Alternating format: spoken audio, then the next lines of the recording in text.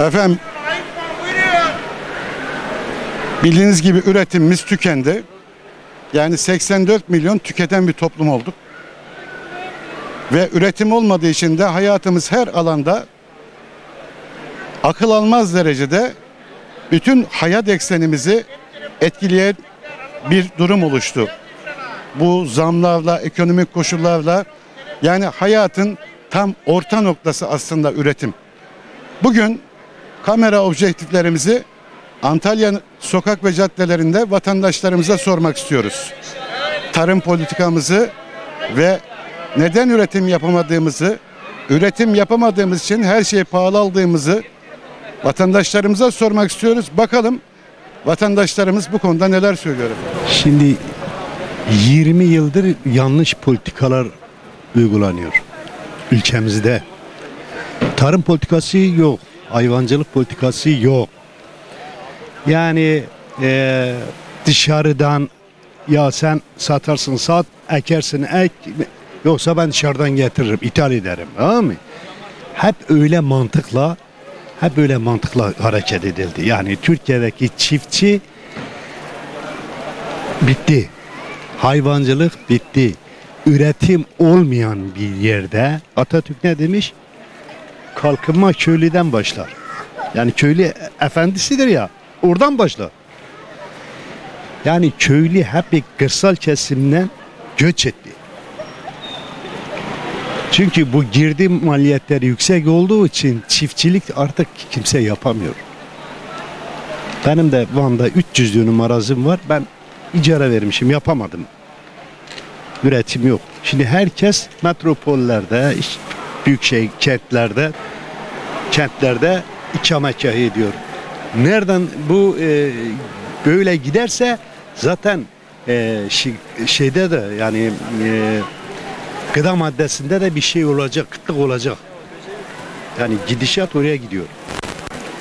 Çiftçiyi desteklemesen bu iş olmaz. Esnafı desteklemesen bu iş olmaz. Her şey esnafın boynunda. Vergisi, algısı, sigortası hep yüksek. Baştakiler ne yapıyorlar? Dört maaş, beş maaş. Asgari ücretteki adam ne yapsın? 4 milyar 250 alıyor. Tele haberlerde dinleyen adam 5 yerden maaş alıyor. Bakan yardımcısı. Bu nasıl din, dindarlıktır? Bu nasıl mantıktır? Bu nasıl izah edilemez kardeşim? Sen emekliye etmet yemez. Peynir de yemez. Ben sana söyleyeyim ya. Böyle din, iman, edebiyatıyla ülke yönetilmez. Din ayrıdır, siyaset ayrıdır. Bunlar her şeyi getirdiler bağladılar buraya. Her şeyi getirdiler bağladılar buraya. Ne oldu? Şükür edin. Üç çocuk yapın. Ulan boş ver sen üç çocuğu. Bir çocuğu adam geçindiremiyor. Bir çocuğu. Düğününü yapamıyor. Okudamıyor. Bir şey söyleyeyim sana. Bu halk yani yöneticilerde Göster göster bak. Bir dakika abi bir dakika konuşalım. Ne? Abimiz bir çizsin. bak Hadi. suç yöneticilerde ne kadar varsa halkta da o kadar var. Neden? Hadi. Neden halkta var diyeceksin. 20 yıl bir adama oy verilir mi ya? 20 yıl. Götürdüler kuzu kuzu verdiler. Kuzu kuzu verdik, dindar diye verdik. Bak abi dedim ya biraz önce.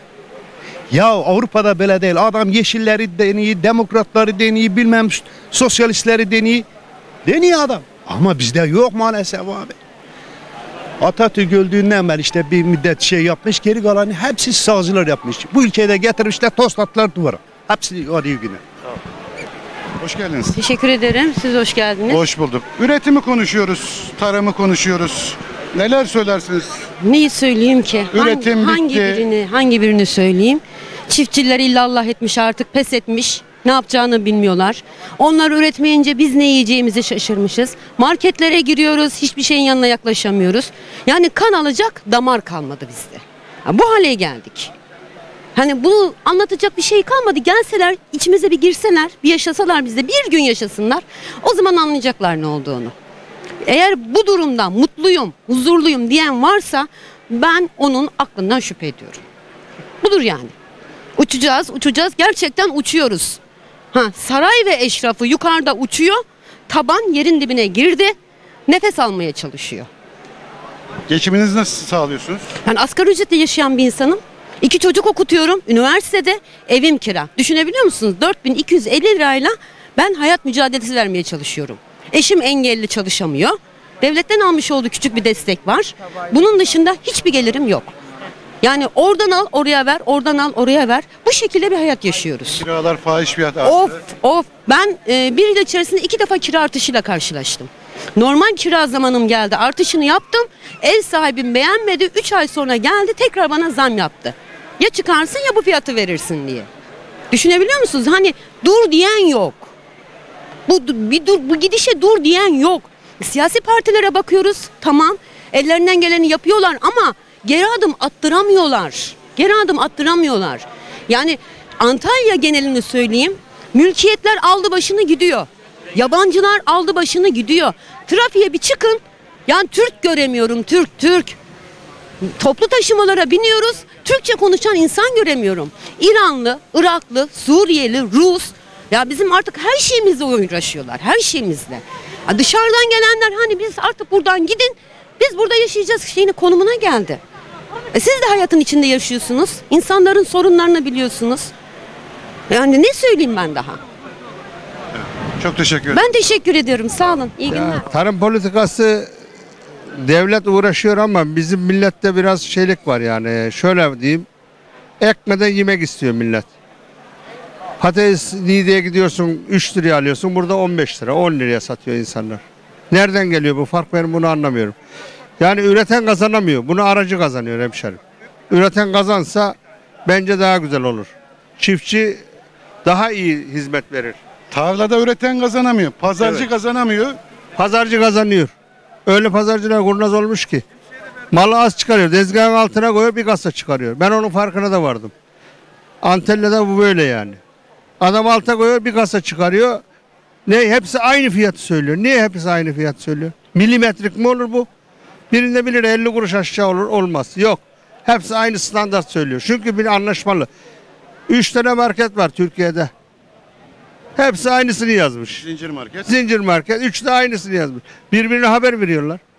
Soğan bir kooperatif vardı 2 lira. Öbürüne varıyorsun 7 lira. Peki çiftçi için girdi maliyetleri arttı. Mazot ve gübre ilaç maliyetleri arttı. Ya Bunlar da doğrudur. Ben de tetikliyor çift, mudur? ben de çiftçi çocuğuyum. Maliyetler arttı. Ama devlet destek veriyor. Devletin desteğini başka yere kullanıyor insanlar. Ben bunu gözümle gördüm. Bak fırına un veriyor, fırına unu satıyor adam ya. Ben adam dedi ki bak fırına dedim un veriyormuş. Devlet hamur ekmeği ucuz alalım diye. Ne yapıyor biliyor musun adam? Dışarıda kamyonla sattı unları. İnsanlar böyle yapıyor yani. Devletin desteğini başka yere kullanıyor. Bizim köye git tarla ekmeden adam para alıyor. Dolu alan var. Her yerden alan var. Yani bunu hakkıyla tamam devlet destek veriyor ama bunu başka yere kullanıyor insanlar. Yanlış kullanıyorlar hemşerim. Evet, çok teşekkür ediyorum. Sağ Durum olun. tabii ki çok kötü. Ben yurt dışında kalıyorum. Yurt dışında üretim bir çiftçi askere gitmiyor. Biliyorsunuz herhalde. Askerlik yapmıyor. Mazotunu ucuz alıyor. Burada hiçbir şey yok. Bir kere üretim yok. Bilmiyorum ne diyeceğimi bilemiyorum ki. Yani kelimenin sözün bittiği yerdesiniz siz. Çok acınacak durumda Türkiye. Bir şey diyemiyoruz. Biz iyiyiz. Nerede yaşıyorsun? Almanya. Almanya'da yaşıyorsunuz. Yani Almanya'da çiftçiler daha ekonomik olarak rahat diyorsunuz. Tabii canım onlar bir kere askere almıyorlar. Çünkü halkı besliyor. Bir çiftçi orada askere gitmez. Çiftçi mazotunu ucuz alır. Onların renkli bir mazotları var. Onları çiftçiye verirler. Çiftçi vergi ödemiyor. Çünkü çiftçi halkı besliyor. Burada da çiftçi çile çekiyor. Çok teşekkür ediyorum. Sağ olun. Öyle Hoş ya. geldiniz. Hoş buldum. Ama hakikaten hoş geldim. Ben 3 ay 4 ay oldu Antalya'ya geleli. Burada Nereden yaşamıyordum. geldiniz? Muğla'dan. Muğla'dan geldiniz. E, hoş geldiniz Antalya'ya. Hoş bulduk ama yerleştim. Artık hep burada yaşayacağım bundan Artık sonra. Antalyalısınız Artık yani. kesinlikle Antalyalıyım. Şimdi Muğla'da tarım konusunda Antalya gibi önemli bir kentimiz. Antalya'da öyle. Hem turizm hem tarım. Turizm ben sadece Muğla Marmaris'teydim ya orada tarım yok Evet. hiç yok hatta. Peki şunu söyleyeyim size. Şöyle alayım sizi. Yani tarım politikasını konuşuyoruz. Buyurun. Üretim bitti. Üretim tamamen bitti Türkiye'de doğru Neler söylüyorsun. yapmak lazım? Neler yani hayatı tamamen derinden etkiliyor. Gıdayı, Pahalılık aldı ekmeği başımızı gitti. aldı hı. başını gidiyor hayat pahalılığı. Var ya anneannemlerin köyü var artık köyde hiç kimse kalmamışmış. Yani köy anneannemin mahallesi böyle bomboş hiç kimse yok. Çünkü ekemiyorlar, biçemiyorlar, satamıyorlar. Hiçbir şey yapamıyor. Onlar da hep şehire şehire yerleşti. Şehirde de iş yok, para yok. Her yerde yok. E şimdi köyde kimse kalmadı. Üretim Anneannem olmayınca. Bursa, Bursa Karacavet hiç üretim yok. Te- teyzemle biz küçükken gidiyorduk böyle küçük küçük domates fideleri yapıyorduk kıştan. Size onları yaza hazırlıyordu. Şimdi o kesinlikle yasak kaldırılmış. Kendisi domates fidesi yapamıyor kız. Yapamadığı için de e, gidip şeyle alıyorlar. Altın gramajı gibi pahalıya alıyorlar fideleri. Onlar da hiç kimse yapmıyor daha doğrusu. Ne alacağız? Pahalılıktan öleceğiz. Domatesi alıyoruz kışın 25 liraya 30 liraya kilosu. Tavsiyeleriniz nedir? Yani ne istiyorsunuz yetkililerden? Aa, emekliyim. Konuşamam. Emekliyim, Evet, maaşımdan mı maaşımı da külliyen beni keserler. Konuşamıyoruz işte görebiliyor musun? Düşünebiliyor musun? Konuşamıyoruz. Hayır canım Ben nasıl bir kimseye şey hakaret söyleyeceğim? etmeden, kimseye bir Ya şey hakaret yapmadan makaret ne dersen de e, şey yapıyorlar. Konuşamıyoruz. Sonuçta Susturuyorlar. eleştiri, öz eleştiri çoluğum yap- çocuğum var valla. Çok üzgünüm eleştiremeyeceğim korkudan. Evet. Vallahi korkudan. çok teşekkür ediyorum. Rica ederim. Geçmişte fakirdik ama zengin gönüllüydük. Şimdi tamamen fakir olduk. Gençliğimizde ben gen- ben 85 yaşındayım. Maşallah, maşallah. Gençliğimizde maaşımız o ama buğday her şeyi koyacak yer bulamıyorduk. Ee, her şey bolluktu, insanlık vardı, hayat vardı. Şimdi her şey var ama hayat öldü. İnsanlık öldü. Tarım tamamen bitti. Tarımı kaldırmak biraz zor. Hükümete değişse zor kalkar tatil. Yani hükümet değişmiş olsa da diyorsun. Uzun sürer ama. Çok uzun sürer ama öyle kolay yani 6 ay bir senede doğrulacak değil tamam. Ben bir şey söyleyemem. Ne için ben bu kadar Türkçe de bilmiyorum. Ben yabancıyım. Bizde de aynı memlekette. O, o da sizin gibi bizde. Memleket nere? Gürcistan. Gürcistan. Evet. Gezme amaçlı mı geldiniz, kalıcı mı? Aa, Ben burada oturuyorum 16 yıl. 16 yıldan beri. 16 yıl beri. Ben de bu oturma izinde oturuyorum. Kiraya. kiraya oturuyorsunuz. Ne iş yapıyoruz? Çalışıyoruz mu? Emekli miyiz? Emekliyim. Emeklisiniz. Türkiye'den mi Gürcistan'dan mı? Gürcistan'dan emekliyim. Gürcistan'dan emeklisiniz. Teşekkür ediyorum. Sağ olun. Tarım politikasını konuşuyoruz. Üretmeyen bir toplum haline geldik. Köylü, çiftçi, hayvan. Vallahi ben ben de köylü çocuğuyum. Ee, 20-25 sene önce kendi kendimize yetiyorduk. Ee, daha ne diyeyim? Ee, dış dış ülkeye bizi bunlar bağladı. Ee, sı- sırf e, kendileri oğlu e, Bilal Yıldırım'ın oğlu gemi, gemiciklerle e, buğday getirecek, nohut getirecek, mercimek getirecek diye bizim e, Türk vatandaşına kota koydular. Kendileri ticaret yaptılar sadece. Türk insanı e, üzerinden. Yani kota koydukları için üretim Kota asgari- koyuyorlar. Diyelim e, 20 dönüm tarla ekiyorsun, e, pancar ekiyorsun. Sana 10 dönüm ektiriyor. Diğerini e, diğer Alamam diyor. 100 150 150'sini hayır ektirmiyor. 150'sini e, e, e, şekerin, pancarınkini şey e, kendi kendimiz üretiyoruz. Dış- e, diğerleri dışarıdan getirmek için.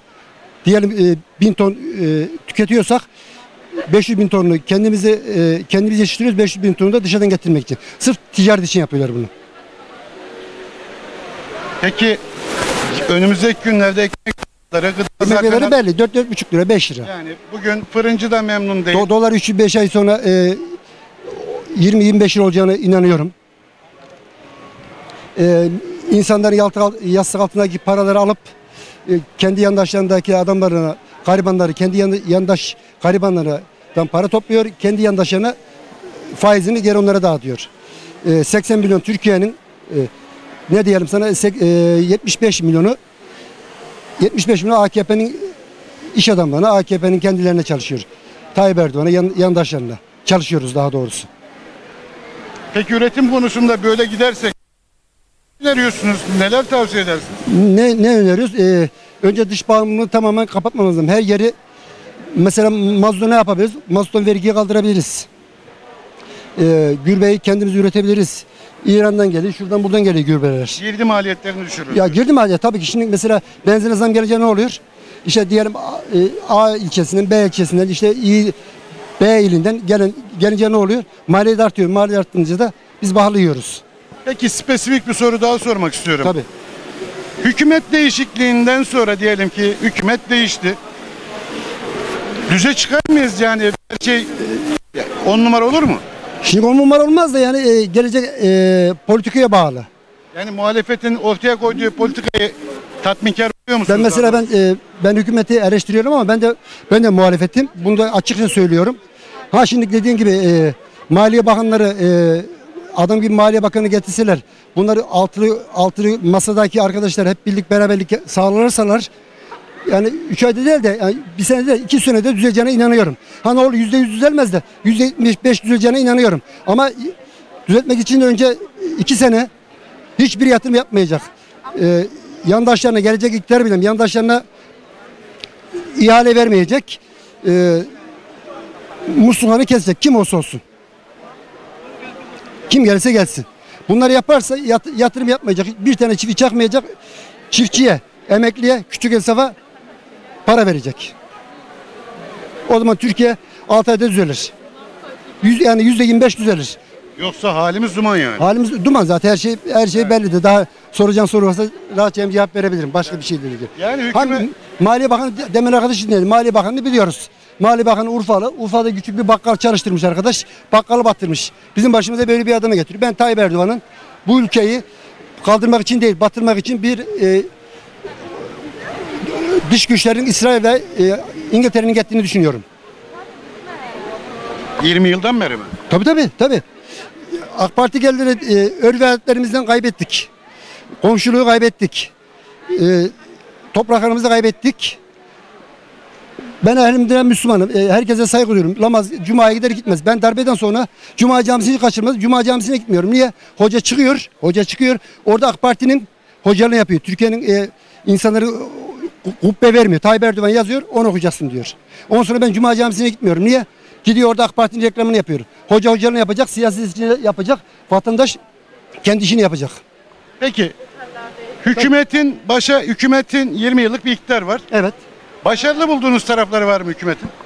Valla ilk 4-5 sene en en güzel başarıları şu. İlk seç ya ilk ikinci seçime kadar insanların gözünü boyamayı beceriyor. Başka yaptıkları bir şey yok. Muhalefetle kim bu işi kurtarır veya aday bu olursa Ya ben- Cumhurbaşkanlığı kim ben, yarışır? ben, ben A Parti demem. O, o benim partim. Ben, Hayır, ben ideolojik hayır, hayır sormuyorum. tabii tabii. Hayır bak, bak ben bir e, muhalefet bir partiliyim ama partimin ismi vermekten de çekinmiyorum ama benim oy verdiğim, savunduğum insan yarın aynısını yaparsa çıkarım karşısına konuşurum. Şu anda konuştuğum gibi genel başkan karşısına çıkarım konuşurum. Lafımı çekmem. Menfaatçi olmayacaksın. Önce Türkiye menfaatçi olacaksın. Şahsı menfaatçi değil. Parti menfaatçisi olmayacaksın. Lider menfaatçisi değil. Takım tutar gibi parti tutmayacaksın. Babam gelse babamın karşısında konuşurum aynısını. Yani gerektiğinde eleştirebileceğiz. Eleştiririz abi hepimiz eleştiririz ve herkes herkes her şeyi rahatça konuşabilecek. Konuşması gerekiyor. Ya bizim ülke olarak zaten genel toplumsal bir sorunumuz var.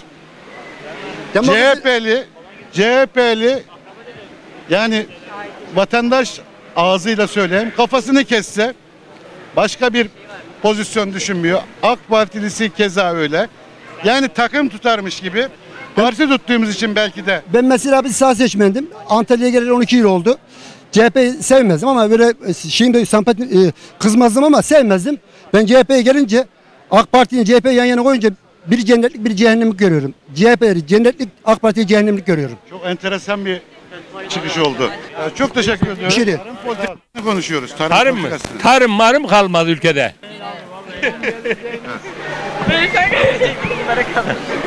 Varsa babayı gelsin konuşsun. Hoş geldiniz. Hoş bulduk. Şimdi konuşurken ekranları başında bizi izleyenler de bakın sürekli konuşmalardan dolayı biz de ifade vermeye gidiyoruz. Konuşmacılar da ifade vermeye gidiyor. Şahsi hakaretler şahsi hakaretler yapmadan öz eleştirimizi yapabiliriz. Yapabiliriz abi. Üretimi, tarımı konuşuyoruz. Yani üretim bitti. Tüketen bir toplum var 84 milyon. Neler söylersiniz? Ne yapmak Abi- lazım? Tüketen bir toplumuz. Doğrudur da. ülkemizde üretme diye bir şey kalmadı. İşte biz onu soruyoruz. Ülkemizde niye üretme kalmadı? Topraklarımız zamanında atalarımız kanlarıyla savaşırken, tırnaklarıyla savaşırken bu toprakları almadı mı bizim için? Kürt, Türk, Laz, Çerkes değil mi? Ama şimdi biz ne yaptık? Kendi elimizle verdiğim oy verdiğimiz insanlara sattırdık yabancılara. Şu an biz mülteciyiz. Şu an ben Türk'üm, TC vatandaşıyım. Hastaneye gidip muayene olamıyorum. Olduğum zaman ücret ödüyorum. Ama bu ülkeye vatandaşlık alan bir insan gidip hastanesinde güzel muayenesi, muayenesini oluyor. Artı devletimden parasını alıyor, maaşını alıyor. Ben niye alamıyorum? Ben niye üretemiyorum? Benim çiftçim niye üretemiyor? Şu an mazotun litresi olmuş 25 lira. Değil mi? Gübrenin keza yine öyle. Ne yapacak? İş dönüp dolaşıp girdi maliyetlerine geliyor. Yani e adam diyor ki ben üreteceğime toprağımı arazimi satarım müte, müteahhite. E, müte, he, müteahhit de belli zaten kimin yanında. Zaten sattılar her tarafı abi. Eskiden hırsızlık yapardın gizliydi. Şimdi hırsızlık aşikar olmuş. Büyük büyük çaldığın zaman suçlu suçsuzsun ama küçük çaldığın zaman suçlusun. Geldiğimiz nokta bu diyorsun. Memleket bitmiş. Şu an bir, bir litre suya, bir litre su eskiden alıyordun 25 kuruşa şu an olmuş 5 lira. Kafede oturup çay içemiyorsun. Bir bardak çay olmuş 10 lira. Bir kilo çay olmuş 100 lira. Hadi ben hamallık yapıyorum gencim evime de bakarım çocuklarıma da bakarım. Ya yapamayan ya bu yaşlı adam milletvekilidir başbakandır alıyor emekli maaşı 40 bin 50 bin benim ihtiyarım alıyor 2 bin lira onun da yarısı yüzde sekseni gidiyor devletin kucağına. Ne olacak? Ben oy vermeyeceğim. Oyumu götürüp en paspal bir partiye vereceğim. Ama bu ülkeden çalan, beni yoksul bırakan, beni mağdur bırakan hiçbir partiye oy vermeyeceğim. Bu HDP olur, bu AKP olur, bu MHP olur. Bak ben Diyarbakırlıyım, Kürdüm. Ama kimse bana sahip çıkmadı. Gelmişim buraya hamallık yapıyorum, çalışıyorum. Nedir? Kiramdır, elektriğimdir, suyumdur. Elektriğim benim 300 TL gelirdi, şu an 500 TL geliyor. Niye? Zamlardan dolayı. Onun için buradan sesleniyorum. Artık kim elini atıysa atsın buradayım yani Antalya'da. Çok teşekkür ederim. Sağ ol abi. Çok sağ ol. Hoş geldiniz. Hoş bulduk. Memleket neresi? Ankara. Ankara. Ankara'nın insanlarını gerçekten çok seviyorum. Böyle bürokratik, bürokrasi yapısı güzel olan bir insan topluluğu. En azından ben öyle yorumluyorum. Ankaralılara karşı bir sempatim var. Öyledir abi. Yani Ankara'da hayat nasıl gidiyor? Burada mı yaşıyorsunuz? orada? Burada yaşıyorum abi. Burada yaşıyorsunuz. Peki üretimi konuşuyoruz. Üretim bitti. Yani tarım, üretim bitti. Neler söylersiniz? Üretim olmayınca da hayat pahalılığı arttı. Ya abi bir şekilde hayat gidiyor mu? Gidiyor. Hani olduğumuz hayatın artık şeklini alacağız. Yapacak bir şeyimiz yok. Ben bu şekilde düşünüyorum. Yani bu hayatta ayak uydurmak zorundayız. E, mecburuz buna. Başka şansımız yok diyorsun. Yani yok. Evet, Çalışıyor musunuz? Hayır okuyorum ben. Okuyorsunuz. Nerede? Mustafa Kemal okullarında. Mustafa Kemal okullarında. Bölüm mü? Sağlık okuyorum. Lisedeyim. Evet. Geleceğin sağlıkçı adaylarındansınız. İnşallah. Başarılar diyoruz. Teşekkür ederim. Çok teşekkür Abicim ederim. şöyle bir şey var. Bizim ülkemizde her türlü iklimsel şart olsun, yetişme şeyi olsun ya biz birçok ürünü yetiştirebilecek tarım alanına sahibiz, iklime sahibiz. Dört mevsimin yaşandığı harika bir ülkede yaşıyoruz. Biz bu kadar şey üretebiliyorken, ülkemizde bu kadar çok şey yetişebiliyorken biz yabancı ülkelere diyoruz ki benim yemeklik malzemem var ama ben bunları birleştirmeye üşeniyorum. Siz bana yemek yapıp verin diyoruz resmen. Onları kat kat fazla fiyatla tekrar alıyoruz. Yani neden biz burada çiftçiye destek olmak varken, onların önünü açmak varken kendi ülkemizde yetiştirmeyi bırakıp kat kat pahalı dışarıdan alıyoruz ki? Sonra çiftçi işi bıraktı oluyor, ekonomi kötü oluyor. Çünkü biz kendimiz bir şeylere uğraşmıyoruz. Dışarıdan hep hazıra konuyoruz. Hazıra konduktan sonra da kimse çıkıp pahalı demesin. Hep hazıra konmanın derdinde Türkiye. Üretmiyoruz. Üretmiyoruz, sadece tüketiyoruz. Üreticiye saygımız olmadığı için sadece tüketebiliyoruz. Üreticiye destek olmazsak nereye kadar tüketebiliriz ki başka ülkelere? Başka ülkeler de kapılarını kapattı. Ya kapatırlar onlar da çünkü ya biz başka ülkelere yamanmak için, başka ülkeleri yanımıza almak için kendimiz ucuza yetiştirdiğimiz şeyleri onlara yalakalık olsun diye dışarıdan alıyoruz. Kendi ülkemde yetişen şeyi bile ben pahalıya dışarıdan neden alıyorum ki? Çünkü bende var. Ya şeker pancarı üretimi durdu mesela ülkemizde ya doğal şeker. Doğal şeker üretimini bitirdiler. E, fabrikalar satıldı, kapatıldı. Dışarıdan biz çok zararlı bir şeker alıyoruz. Kanser oranını yükselten bir şeker alıyoruz. Buna gerek var mı? Buna hiç gerek yok. Kendimiz yani harika bir şekilde şeker pancarı üretebiliyorduk çünkü. Şeker fabrikalarını kapatırsan, bütün fabrikaları kapatırsan, ülkenin topraklarını gidip gizli gizli satarsan, ülkemize mülteci doldurursan, kendi ülkemizde biz mülteci olursak, kendi ülkendeki öğrenciye gidip kongre düzenlemeyip Suriyeli öğrencilere gidip de otelde kutlama veriyorsan kusura bakma kimse bana burada millet yani milletini seviyor demesin. Ben kendi ülkemde ikinci sınıf olamam. Ben birinci sınıf vatandaşsam mülteci ikinci sınıf vatandaş olacak. Bana destek verilmiyor, mülteciye veriliyor. Bana olanak sağlanmıyor, onlara sağlanıyor. Çocuk başına para alıyorlar. Zaten 1 milyon geldiler, 10 milyon oldular. Bundan 10 sene sonra Türklerden daha çok olacaklar. Yani kimse tehlikenin farkında değil. Biz kendi ülkemizde ileride bundan 10 sene sonra daha az Türk olacak. Yani bunların artık önüne geçilmesi lazım. İnşallah bir sonraki seçimlerde hak eden kazanır. Alkış. Nihayetinde kendisini de alkışlattırdı. Çok teşekkür ediyoruz. Rica ediyoruz abi küçük demeyelim araştırıyoruz yani Genç- biz de ülkemizi takip ediyoruz. Ge- genç kızımızı kutluyoruz. Ona başa, İzleyeceğim başa, kendimi. başarılar diliyoruz. İnşallah tutuklanma. Evet. Yok yok tutuklanacak bir şey yok. Şakaydı. Evet, çok teşekkür ederim. Başarılar Ben de diliyorum. teşekkür ederim. Başarılar. Hoş geldiniz. Hoş buldum Şunu abi. sormak istiyoruz. Öyle abi. Tarım politikalarını konuşurken işte hükümeti eleştiriyoruz. Hükümetin ortaya koyduğu tavrı eleştiriyoruz. Ama şimdi burada destek alan Tarım Bakanlığı tarafından destekleme verilen kişiler de vardır. Acaba bu destekler doğru yerde kullanılıyor mu? Hayır. Hayır. Yani bu da önemli. Bu da tartışılması lazım. Yok abi verilmiyor bence. Nasıl söyleyeyim mi? Ee, hepsi bütün paralar zaten ya mültecilere ya başka bir yerlere gidiyorlar yani ne tarımcılığa ne çiftçiliğe önem veriyorlar. Hiçbir şekilde vermiyorlar. Diyorlar ki veriyoruz. Bilakis vermiyorlar. Onun yerine binalar yapılıyor. Tarım ya- yerine full binalar var yani. Düzgün şey yok yani. Hepsi destek mesela şey yapılıyor mesela. Türk dışında başka herkese yardım ediyorlar. Tarım için mi? Tarım için? Tarım için çiftçi bitti. Mazot pahalı olunca, gübre pahalı olunca ne yapacak? Ekemez oldu çiftçi. Mazotta bir çiftçiye özel bir şey yapsalar tarımda bir değişiklik olur mu? Tabii mazotu düşürseler olur. Çiftçi toprağını eker. Gübreyi de düşürmek lazım ama. Gübreyi de düşürmek lazım. Gübreyi de düşürürse olur. Mazotu da düşürmesi lazım. Hmm. Onun için. Şimdi güzel bir soru da bu ülke 1900 benim ortaokul çağlarım diyeyim 65'li yıllarda tarım ülkesi olduğumuz Konya Ovamızda, Trakya'mızda tarımla övünen, güvenen, böbürlenen ülkeydik. Bugün buğdayı dışarıdan alıyoruz, mısırı dışarıdan alıyoruz. Ama dışarıdakiler de kapılarını kapattı. Bir dakika. Bugün oradan alıyoruz. 20 yıldır tarımı bitirdik. Gübre dışarıdan geliyor. Tohum milli tohum kalmadı. İsrail'den tohum geliyor. Ürettiğinden tohum elde edip yeni ürün üretemiyorsun. Her gün tohum artıyor, fide artıyor, gidiyoruz. Peki şimdi mi aklımıza geldi yerli ve milli tohum? Bu ülkenin buğdayı, ana buğdayı, sarı buğdayı, kara buğdayı nerede? Bu ülkenin güne bakan dediğimiz ayçiçeği nerede? Orta Anadolu, Trakya ayçiçek deposuydu. Komili yudum yağları bilmem ne zeytinyağı, sıvı yağlar, çiçek yağları Suriyeli'ye sat.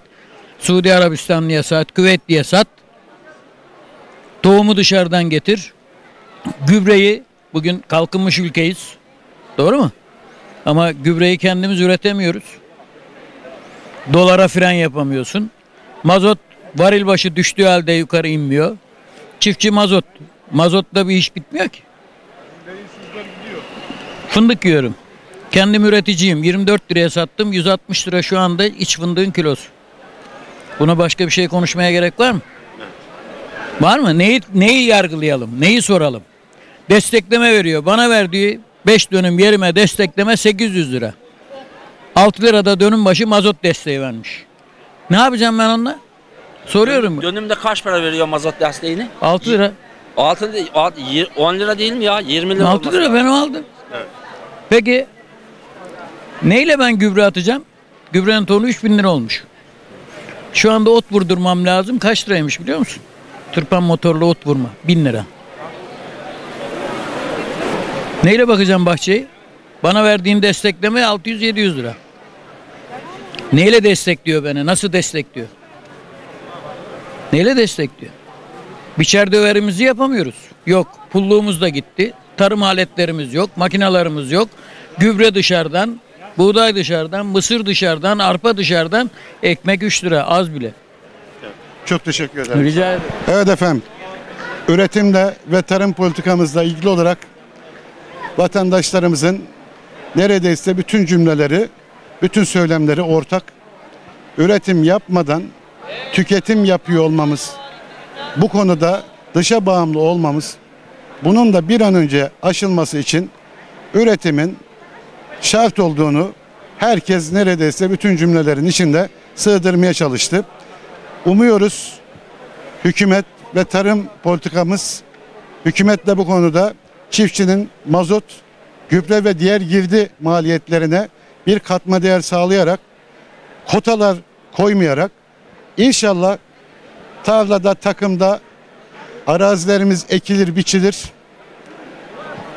Yoksa bu ülkenin vatandaşlarının ekonomik durumun, enflasyonun, dışa bağımlılığın ortadan kalkması için kesinlikle üretim yapmamız gerekiyor. Herkesin söylemi bu yönde. Biz bugün sokak ve caddelerde bunu ekranlara getirdik. Kanalımıza abone olmayı, bildirim zillerini açmayı unutmayalım. Yayında ve yapımda emeğe geçen tüm arkadaşlarım adına hep, hepinize Antalya'dan selam ve saygılar sunuyoruz. Allah'a emanet olun efendim. Hoşçakalın.